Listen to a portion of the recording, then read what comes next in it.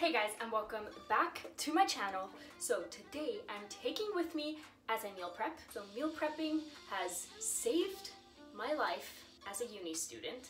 Bit dramatic. When, you know, I rarely have that much money at all. Kitchens are just like permanently sticky.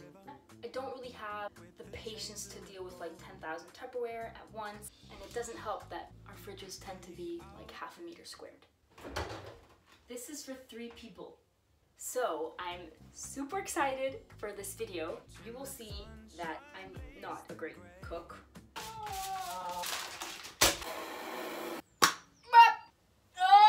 The fact that like half the memes my boyfriend tags me in have to do with like burning food is an indication that if I can do it, you can too. If you do like this video, please leave it a thumbs up and subscribe to my channel. I don't know if I have to say that, I just hear all the YouTubers say it, so I'm gonna add it in. Let's get started. So first things first, what you're gonna need, Tupperware, I'll go get mine quickly. Oh, Jesus. I have two little ones and two big ones. I'll explain why in a bit. Then, in addition to that, you need a hob and an oven. The only other things that I really use are a pan, a deep pot, and like an oven-based tray thingy. And I had this like huge oven glass thing, and I have no idea where it went. Okay, either way, it was beautiful. I loved it. I'm kind of sad now. Moving on. The things that I always have in my cupboard are my staple items. So, it's a little bit messy, but who cares? So, staple items are like the things that are gonna last you forever and ever. I'm kidding. They last you a long time and they're very useful. Poof! Just kidding. I took all of it from the cupboard out onto here. So, for spices, salt, hot paprika, ground cumin, it's almost done, and Italian, Italian herbs, and uh, garlic granules. Also, there's this delicious, that is not it. The garlic salt is super good. It literally makes everything taste delicious. So that's for my spices. Next up, canned goods like bread split lentils, whole grain microwave rice. Ain't nobody got time to make rice. Black beans, cannellini beans, butter beans, green lentil beans, more black beans, all kinds of beans. There's no such thing as lentil beans. I just wanted to keep the trend going. That was a long list. That's really nice cheap stuff that you can just always have in your cupboard. It will last you ages and you can put into a recipe at any given point.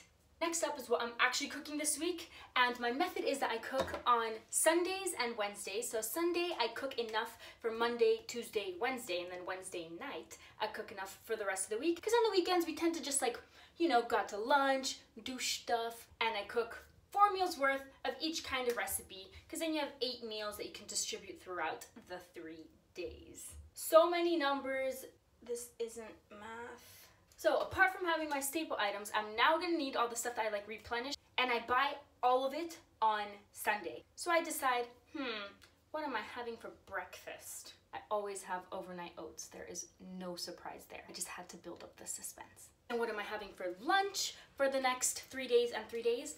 and what am I having for dinner for the next three days and three days. So I don't actually follow a recipe book or anything like that. I just kind of think of like, mm, what am I feeling? You know, like for lunch, I'm gonna have some kind of chickpea curry. And for dinner, salmon, sweet potato, and veg that's like maple glazed and honey glazed. So fancy, I literally just squirt that shit on there. Okay, so the way that I divide my shopping list, I just put a shite ton of veggie, like bomb those veggies in. Then I've got carbs, fats like uh, pesto, coconut milk, peanut butter, olive oil, all that good deliciousness. And then I've also got my protein, which I do have some here already, the beans. Also in case I want maybe chicken, salmon, eggs, and also a little bit of dairy or dairy alternatives for like breakfasty things. Okay, so I'm gonna go do my shopping now. I will bring you along with me. You can shop online, but I get serious joy out of going to buy food. Like it's the best part of my week, apart from being with humans and people I like. Anyway, Something that took me three years to find out. If you find any like farmers markets or like little markets around your town or area or uni, one was in front of my house, okay? It's so cheap, the fruit and veg. You're gonna see in this haul that I'm doing. Also, the guys that work there are really nice. They give me like more compliments than I've ever received in my life. They call you like darling and yeah, lovely. I'm like, ooh, keep talking. Stand around a little bit longer, you know what I'm saying? Okay. I'm gonna go put some actual clothes on. And before I go, I'm bringing with me my own bags just to be environmentally friendly, you know. This is definitely not the first time I'm doing this just to look good on camera, so it definitely is.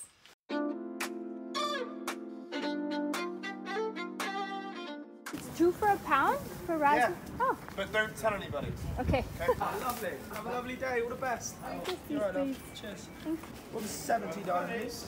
Want another bag, sweetheart? He packed it all up for me and I felt bad telling him anything. I'm like double the plastic. I'm destroying the planet. My bag just ripped in front of a group of guys that's staring at me. There they go. I'm in the middle of the street. My phone is against a hummus pot that I just bought. But I'm gonna have to redistribute this because it's too heavy and this bag is about to break again. Meal prep adventures.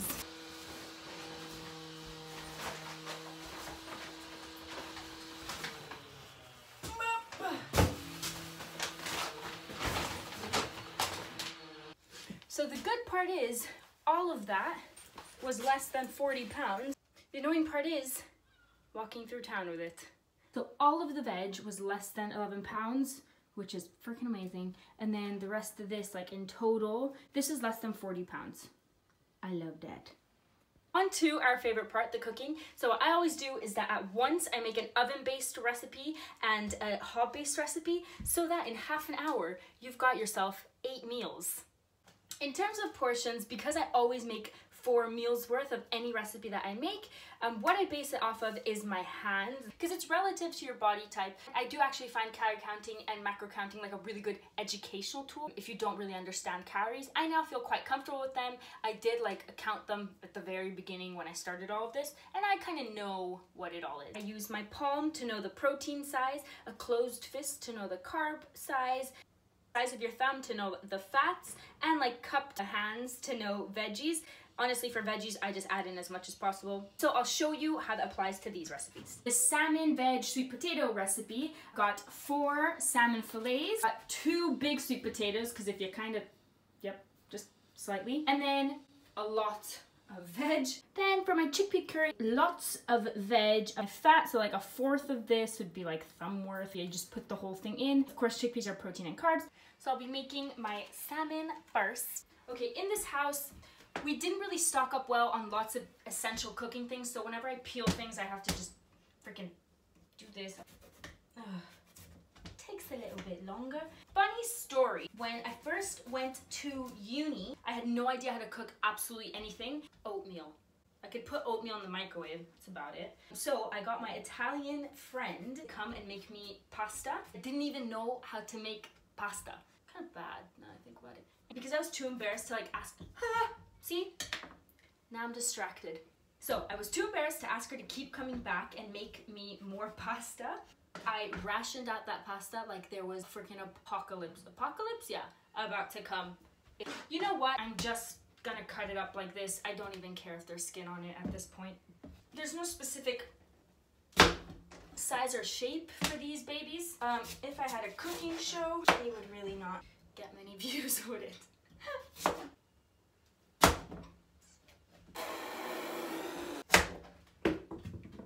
Bitches. On to our next sweet potato. Okay, today was supposed to be a rest day, and I swear this is more of a workout than normal.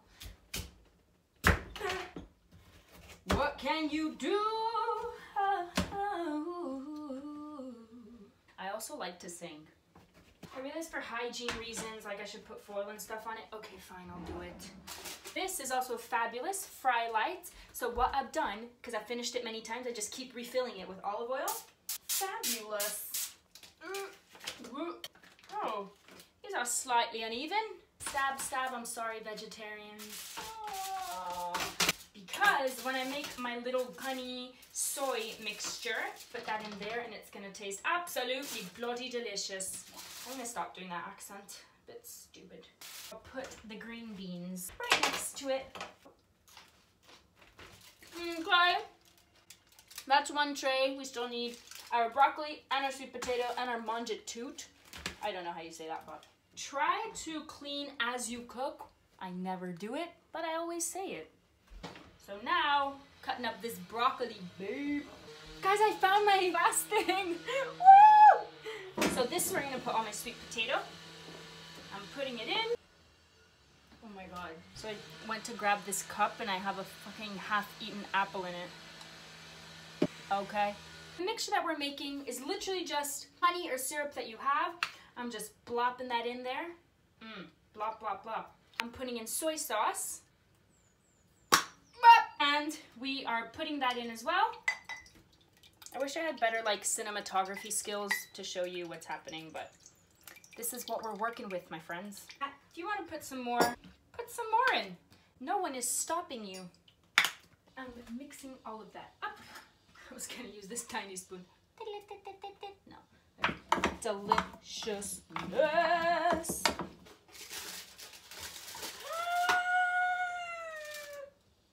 Ah.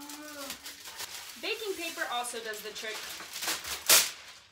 I don't know if it does, but I made that up right now. Great, this is going well. Sprinkle that shit like there's no tomorrow. Nothing's coming out, but let's pretend it is. Okay, so you're meant to like time how long stuff should be in the oven for. I just kind of keep an eye on it and hope it doesn't uh, burn. Probably why I burn a lot of things. Okay, so there it all is, and you can see me and my pathetic selfie stick. Next recipe, our chickpea curry. This one's really easy because you literally just bop, bop, bop it all in. You have got your, how many is this? I thought I had five. Four peppers, five peppers, I knew it. Also using five carrots. I'll chop it up into strips, okay guys? We chop it up into strips. Chop a pop in. I found a much more artistic angle, but now I'm just gonna awkwardly have to squat. Let's go. Oh, I'm not even in it. Yeah, this is a bit, nope. I'm putting you back, guys, I'm sorry. Oh my God, these are so sweet. Market man, marry me. Peppers are done. Next up, I'm gonna heat up some olive oil and add in some garlic granules. That is a bit hot, it is sizzling already. Okay, so I'm adding in my peppers already simply because I'm impatient and I don't follow a recipe. Ah, it's so long. What a bloody mess. There we go. Oh, you guys can't see shit. I'm gonna borrow my flatmate's turmeric. I don't think she watches my videos, so that. Sprinkle it in. It's a bit much. I kind of abused of her friendship. I'm adding in some paprika. That's just because I like it spicy. If you don't like it spicy, don't add it the paprika, my friends. Now I'm adding in my coconut milk. Oh, okay. We also don't have a can opener, so I really was not prepared for this video. Adding the whole thing in. All of it. And mixing that in, that's a bit aggressive, I'm sorry. Okay. Next up, I'm adding in my chickpeas.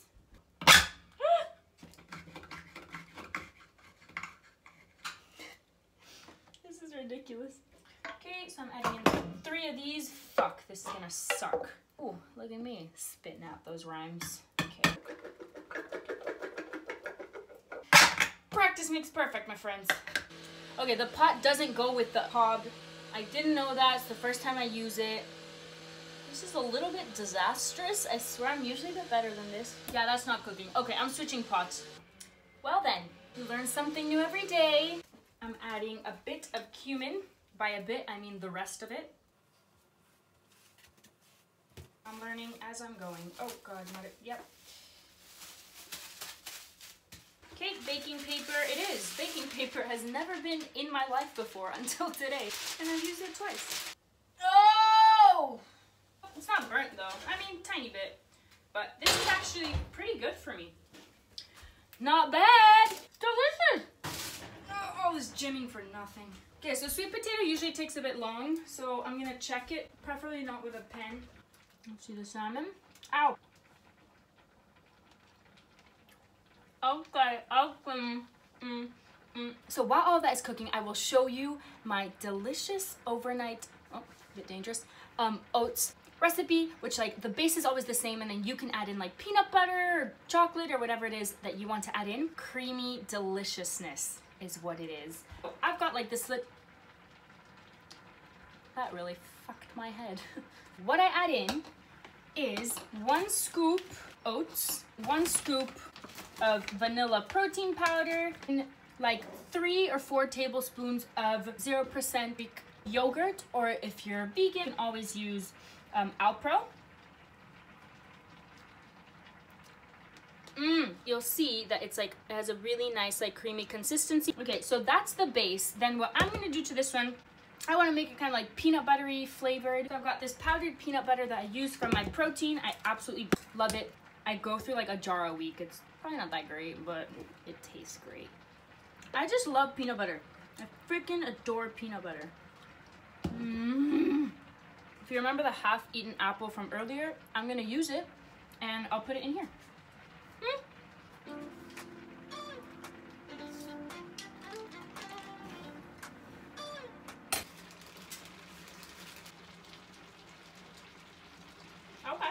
Curry is quite watery. So what I'm going to do, sorry I didn't mention this earlier, um, I'm gonna add in some red split lentils, about half a mug. I totally guessed that. Check up on my sweet potatoes. Keeps happening to me. I'm gonna add a chicken stock cube to make it taste a little bit better. We improvise a lot in this kitchen. In this kitchen, I mean my brain. Ow! Well, the way that I package it, this is where your Tupperware comes into play. So these I'm bringing actually to campus with me tomorrow. Put that away. So that's a salmon fillet. Come over here, you naughty thing. Okay, that in. More of the green deliciousness. I'm just gonna hand, yep, I'm just putting it on with my hands. Who even cares? Sweet potato. So tomorrow's lunch and dinner Oh, bitches. With the rest of all of this food is what I put in these big mama Tupperware. So let's do that. These are the ones I bring with me. These are the ones that I just replenish, bish, bosh, bash, put it back in here.